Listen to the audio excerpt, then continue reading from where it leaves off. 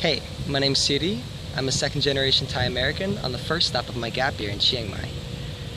Thai language and culture was something that I was never exposed to as a kid, and that's why I wanted to take this year, to get in touch with a half of me that I had never seen before.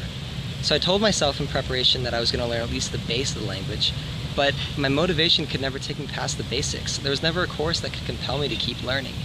But then I found Brett's course like three months before I left home, and in a little more than a week, poring over it every night, I could read almost everything and sound it all out too.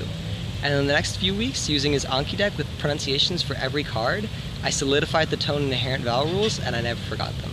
And that first step has been everything for me, because I've been able to make vocabulary flashcards with the script that allows me to pronounce things right the first time.